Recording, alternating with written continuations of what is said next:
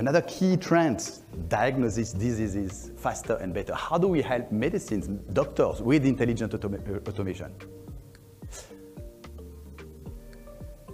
This program helps just by using the breath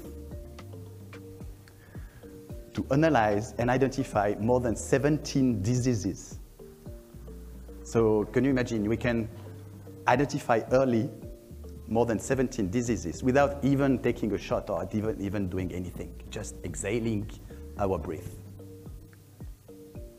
That's a very uh, an amazing one by MIT. Um, it can identify cancers, skin cancers, in just a few seconds like this, just from a, a picture taken from a, um, a smartphone, okay, with more than 90% accuracy.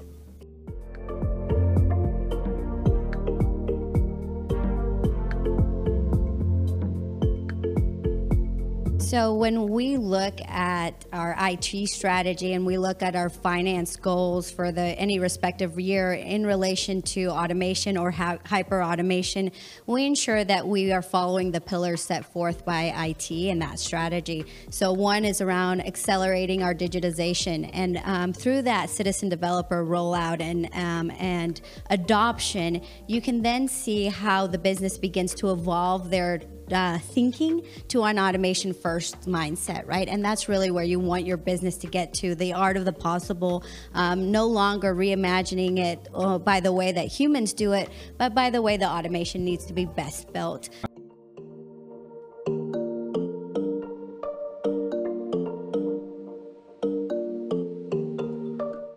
Believe the core theme here is, is collaboration yeah. and, and, transparency, and, and, I think that's absolutely essential. That, that's part of the partnership of having IT involved. Um, collectively, if you add up all the talent in any one particular war room, regardless of what division of the business they come from, there is a collateral benefit of experience once it's been shared. In addition to that, while I have never brought chocolate or flowers or anything like that, I, I, can absolutely say that it's it's humbling to be in the room full of like-minded professionals who can share. But when you're collaborating on a strategy and you're both aligned to the same business objective, you tend to get a lot more done and both parties have a shared ownership in that cause, you're not knocking on someone's door trying to sell them automation. Instead, you're saying, I have a tool that is going to drive these enablements across the organization. And collectively, as an organization, we're all facing the same crisis, and let's figure out how we can solution this together.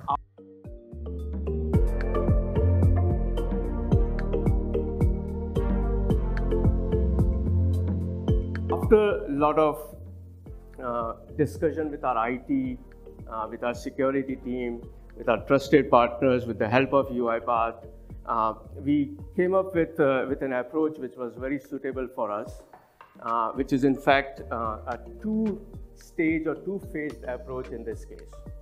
Uh, the first approach, uh, the first step in this is to let's migrate the or orchestrator infrastructure to automation cloud. once that is done, then let's migrate the robot farms infrastructure which we have on, onto the cloud as well. And I'm going to touch that in, in more detail because that is the place where we being VMware, we are actually using a VMware on VMware approach on that as well.